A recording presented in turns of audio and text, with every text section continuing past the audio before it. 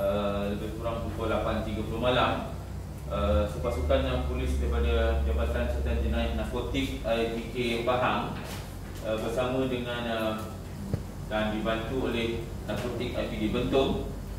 telah menangkap dua lelaki Melayu anak beranak berumur 58 dan 28 tahun di sebuah stesen minyak di Jalan Bentong Karak.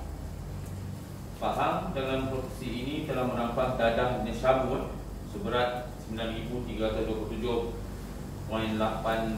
gram di mana yang ada di hadapan ini. Ujian air kencing kedua-dua bapa dan anak ini negatif tetapi kedua-dua suspek mempunyai tujuh rekod kesalahan dadah dan satu rekod terlampau kesalahan jenayah.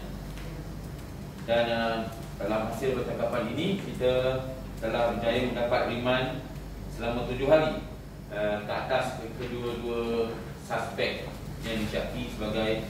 pengedar dadah jenis syabu. Uh, untuk makluman, jika dadah ini terlepas daripada pengawasan pihak berkuasa polis, dadah ini dapat membekalkan kepada 18,655 orang end user eh.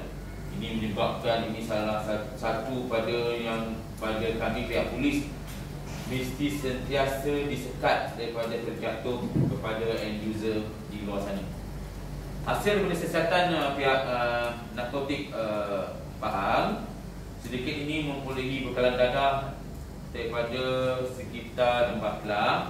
untuk diedarkan di negeri Pahang ini ya. Uh, dan bergiat aktif dan telah bergiat aktif selama 2 bulan yang lepas. Dengan tangkapan ini pihak polis berjaya menumpaskan kegiatan kiran dadah yang didalangi oleh uh, anak beranak, bapa dan anak dan eh, dan tetapan ini juga kita telah membuat sitaan bawah FOP wang tunai RM40,112 motoka jenis uh, Toyota Velfire motoka jenis Honda Jazz dan uh, box second wall yang uh, dipercayai ada kaitan dengan uh, dipologi melalui hasil yang tidak betul iaitu pengedaran dadap dan uh, semua jumlah rampasan-rampasan ini dianggarkan berjumlah RM660,000 RM112 yang kalau kita nilaikan. Untuk makluman, usaha berterusan akan dilaksanakan untuk membesmi masalah dada di spiral Negeri Pahang. Khasnya jika kita lihat, memang kita nak memastikan Negeri Pahang ini bebas berdada dan uh, pihak Pulih Pahang mengalu-alu